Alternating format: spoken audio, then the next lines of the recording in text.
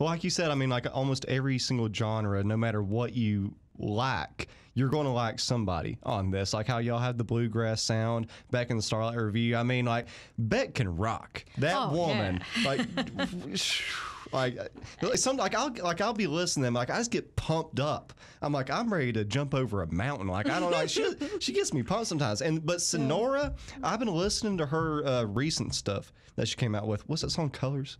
Is that the name of it? Yeah, there's Yeah, yeah, I love colors. Love mm-hmm. colors. Such a beautiful song. And the music video mm-hmm. is whoever made that music video. That's a work of art. But I don't I don't know how to describe her genre. Like I, I was oh. trying to talk to somebody about her the other uh-huh. day, and I was like, I don't know what you would even call it. You know, it's interesting because I could be wrong about this, but I think I read something where she might have even it, it was describing her as Americana, and she might have even described herself as Americana, which is real interesting to me because her husband Tyler Childers Yeah. has won awards in the Americana music industry, but he does he shuns Yeah, that yeah. that genre title. I've seen that. You know, he's he's very vocal about it, it's country music. I'm a country musician. Why do we have to have these other labels? Yeah. Um, Well, and, and I get I've, that. I've never understood that either because, like, i- i- and just in my personal opinion, I'm not a musician. I don't know.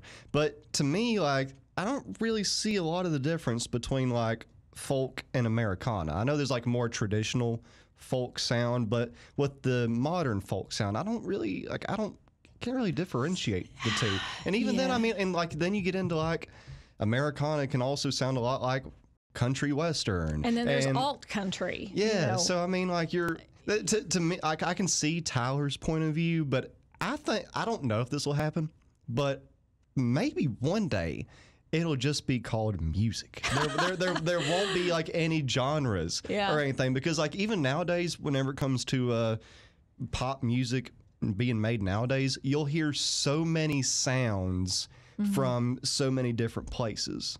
Like I mean, like that Diplo guy, he makes country EDM stuff, and nowadays you're having you're having a hip hop influence in it as well.